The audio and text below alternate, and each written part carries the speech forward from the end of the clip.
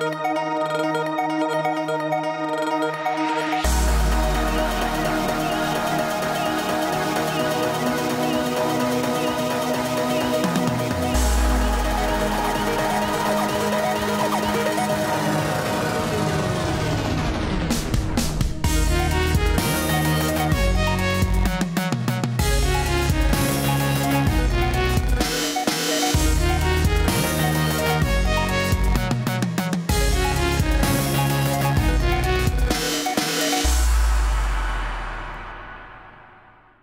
Deze week in Lierse TV. Een vooruitblik met oude bekende Jonas de Roek naar de match tegen OH Leuven.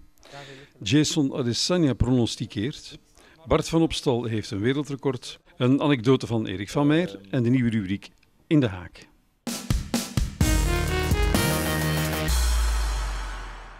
Zaterdag spelen we thuis tegen OH Leuven. We ontmoeten hier dan ook oude bekende Jonas de Roek.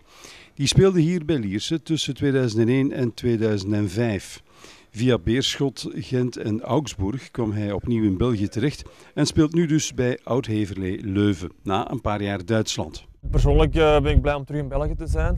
Uh, ik heb uh, drie mooie jaren gehad in Duitsland en eh, het, is, was leuk om terug naar België te komen, terug dicht bij de familie te wonen. En, ja, de kinderen worden ook nu groter en ja, ze gaan nu naar het eerste leerjaar, dus het is een mooi, ideaal moment om terug te komen. OH Leuven is een ambitieuze ploeg die we zeker niet mogen onderschatten. Meer nog, eigenlijk zijn ze goed bezig en Jonas bevestigt dat. We, we hebben eigenlijk tot nu toe altijd goede wedstrijden gespeeld, alleen één, één, één helft, de tweede helft op Bergen waren we uh, niet van de partij. En, uh, maar dat was ook denk ik, een pluspunt voor ons in onze ontwikkeling van dit seizoen. Daar hebben we de nodige les uit. En uh, hebben we eigenlijk in stijgende lijn de, de, de resterende wedstrijden dan, uh, gespeeld. En, um, ik moet zeggen, we zijn aangenaam verrast om de, van de voetballende kwaliteiten van onze ploeg. We proberen alles voetballend op te lossen. We zullen hier op de lange bal spelen. En dat is ook een beetje de visie van de trainer hier. En, um, we hebben niet zo'n zo grote kern. We moeten, ik denk dat dat normaal is van voor een club zoals OHL. Maar eens als iedereen fit is en uh, niet te veel kwestie, ik denk dat we uh, genoeg kwaliteit hebben om, uh, om een vaste middenmotor te worden hier in België. En dat, dat, is toch de ambitie van deze club en hopelijk kan ik mijn steentje bijdragen. Jonas is inmiddels toch al 32, doorgaans genoeg om de leidersfiguur te zijn in een verder relatief jonge ploeg. Ja, de leider, ik probeer gewoon, ik heb natuurlijk de nodige ervaring. ik probeer medemaat zoals altijd ehm, bij te sturen of, te helpen of, of ja, in moeilijke momenten de rust te bewaren. En uh, als je, ja, ik zeg altijd als je nu 32, 33 bent of 18, het belangrijkste is dat je, dat je, dat je um, goed communiceert, dat je goed automatisme kweekt en uh, dat, dat men accepteert dat iemand uh, aanwijzingen geeft en zo. En dat is het belangrijkste, dat, dat men dat accepteert. En, ik, zeg, ik ben heel goed opgevangen in deze groep. Komt altijd van twee kanten. Trainer Ronnie van Geneugde zal niet veel plezier gehad hebben aan Jonas als het erom gaat tips te geven over de ploeg. Jonas heeft Lierse al immers sinds 2005 verlaten. Ik moet zeggen, uh, ik zou eerlijk zijn, de meeste namen kende ik niet. Uh, sinds dat ik weg ben bij Lierse denk ik ik denk niet dat er nog één speler speelt. Uh, de enige die ik kende was uh, Erik van Meer. En we zaten op de Denkse staf natuurlijk. Dus uh, maak ik met Erik nog heel veel heel goede contacten. Dus heb ik altijd goede contact met hem blijven houden. Maar um, ja, van de spelers zelf moet ik eerlijk zijn dat ik, dat, dat ik de spelers niet kende. Maar de indruk dat ik had bij de oefenstrijd is dat er uh, ja, die jonge groep is, maar dat, dat ze toch ook proberen uh, voetballen te spelen. Uh, ik denk niet dat ze lang, rap de lange bal hanteerden. En je zag toch dat ze van achteruit proberen te, de, op te bouwen, mooi over de grond. En, uh, dat is natuurlijk het voorbeeld, denk ik altijd, als je met een jonge groep werkt, kun je nog, die zijn leergierig en kun je nog een beetje bijsturen als, als trainer zijn. En, ik moet zeggen dat ik een positieve indruk had van hier. Natuurlijk hebben ze ons al degelijk bekeken en besproken. Niet alleen hebben we al een oefenmatch tegen OH Leuven achter de rug, maar er is ook nog zoiets als televisiebeelden. Er zit veel snelheid in, in, in Lierse, vind ik uh, zeker aan voor. En, uh, maar ja, wij zijn natuurlijk ook voorbereid, wij zien ook de beelden en wij zullen ons, ons tactisch plan, zoals dat natuurlijk altijd noemt, proberen goed uit te voeren. En we zullen zeker op ons hoede zijn. We gaan niet naar naar Lierse gaan met de gedachte van kom, we zullen dat je rap is in orde brengen en Nee, dat gaan we zeker niet doen. We, we schatten Lierse hoog in. Ik denk niet dat je niet voor niks al uh, denk dat ze zes punten hebben ook. Dus, maar ook heel moeilijk te verslaan. De ploeg is veel gelijk spelen. Dus nee, we gaan zeker met alle, met alle nodige respect naar Lierse toe. En het zal sowieso een fel bevochten wedstrijd worden. Lierse vind ik dat zijn in, in groei. Ehm, hebben zich vorig jaar kunnen handhaven in eerste klasse. En ik schat ze toch dit jaar zeker sterker in dan vorig jaar. Wel. Een terugkeer naar het Lisp voor Jonas doet hem toch wel wat. Dat weet hij nu al. Dat is altijd leuk. Hè. Dus, uh, ik heb er uh, niet vergeten, ik heb er vier jaar gezeten. Dus, uh, nou, Antwerpen, langste periode dat ik bij een ploeg heb gezeten. En, ik heb er veel, veel vrienden gemaakt. Ik ken natuurlijk nog veel mensen van leren bijvoorbeeld. Ik denk, materiaalman is altijd de persoon die, die, je, omdat je dag in dag uit mee bezig bent, schitterende gast. Dus, ja, nee, ik ga er zeker met plezier naartoe gaan. En, ik weet dat de Lierse sporters altijd heel warme sporters waren. Ik heb, altijd goed contact mee gehad. En uh, het zal zeker aangenaam zijn om terug op, op het Lisp te komen.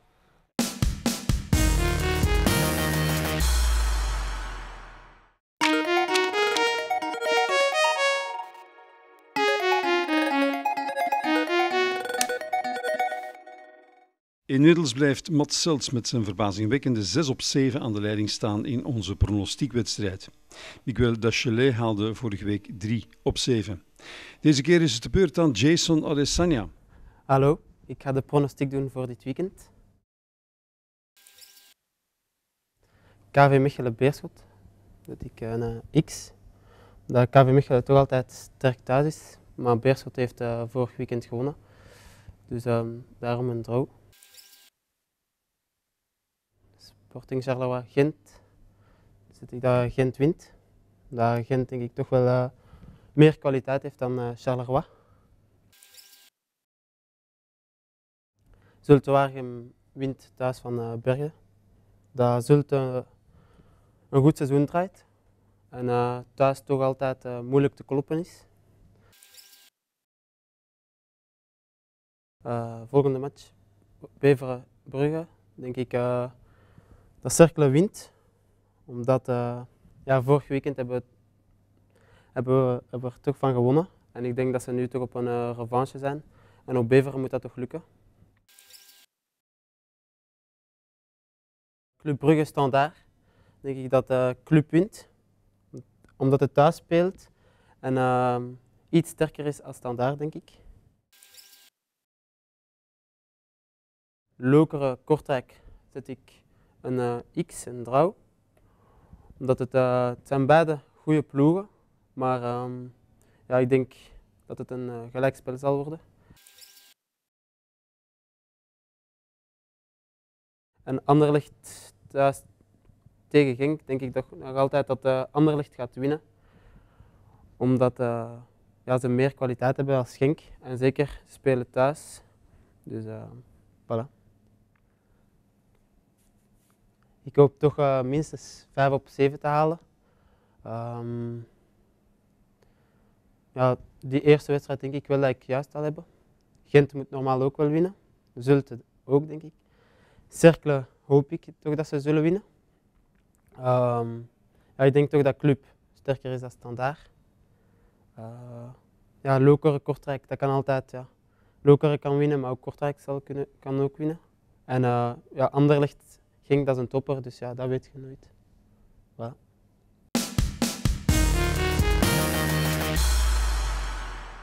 Lierse kwam de afgelopen week op een extra sportieve manier in het nieuws. Wat zeg ik in het wereldnieuws? Bart van Opstal, hier beter bekend als Bart van het Themacafé, deed een gooi naar het wereldrecord aan één stuk door tappen. En als Bart ergens aan begint, dan maakt hij het ook af. Maar liefst 93 uur stond hij achter zijn toog. Niemand deed het ooit beter. Dat moet hem dus een vermelding opleveren in het Guinness Book of Records. Maar hoe komt iemand nu op zo'n idee? Wel twintig jaar geleden was er een vriend van mij en die probeerde het wereldrecord frittenbakken te verbreken. Dat was een gigantisch gebeuren in Olen en ik was daar als klein mannetje elke dag aanwezig. Dat is toen jammer genoeg, jammer genoeg niet gelukt. Maar heel dat gedoe heeft me 20 jaar lang bezig gehouden en ik had over een jaar besloten om het wereldrecord tappen te, uh, te proberen te verbreken. Daar vandaar het idee. Zoiets doe je natuurlijk niet alleen. Omdat dat allemaal een beetje Raar klinkt zo'n recordpoging, ben ik daar alleen mee begonnen.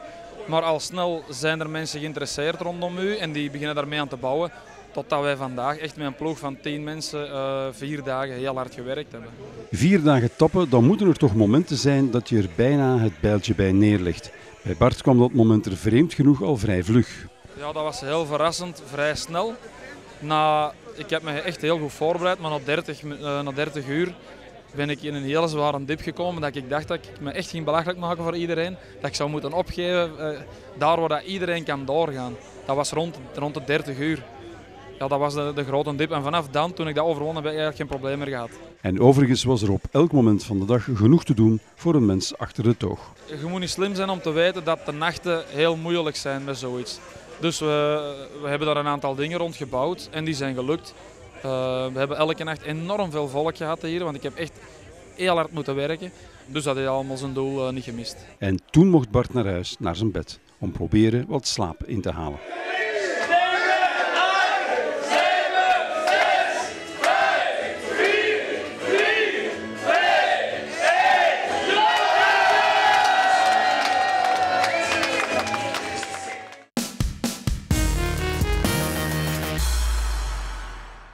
De anekdote van deze week is er een van Erik van Meijer. Die neemt even een duik in zijn vele herinneringen en komt er met dit verhaal weer uit. Het verhaal uh, uh, speelt zich af in het seizoen 96-97. Voor ons een heel goed seizoen geweest omdat we dan kampioen hebben gespeeld. Maar uh, mijn anekdote speelt zich eigenlijk, eigenlijk af in de voorbereiding. Dus een van de eerste wedstrijden die we eigenlijk thuis speelden was tegen Turnhout. Ehm, ik denk dat we toen vier, 4-0 gewonnen waren of zo. En uh, ja, goed, het was, was geen partij voor ons. Een van de eerste uh, wedstrijden daarna was Intertoto-beker. En dat was thuis tegen Karlsruhe. Dat was dus wel een heel goede ploeg met uh, Thomas Hessler, Jean Dondie in de spits en, en Kiriakov. En in, in, de loop van de eerste helft zei ik tegen Pascal Bovry, ik zeg, amai, die van Turnhout die zijn wel een pak beter geworden. Ja, Turnhout speelde blauw-wit en Karlsruhe speelde eigenlijk ook blauw-wit. Nu, op dat moment was dat een heel grappige opmerking van mij. Alleen was het zo, na 40 minuten kreeg ik eerste gele kaart en na 44 minuten een tweede gele kaart. Dus uh, het lachen was mij toen wel vergaan, want in de kleedkamer heeft uh, ja, de toenmalige trainer Gerrits mij zeker uh, 14 van de 15 minuten berispt en uitgemaakt voor al hetgeen dat slecht was. Dat ik normaal een meerwaarde moest zijn, maar dat ik nu als een miniem werd uitgesloten. En ik heb door echt ja, mijn bak eenmaal vol gehad. En eigenlijk was dat eigenlijk uh, de aanloop van het goede, de goede, goede einde van het, van het seizoen.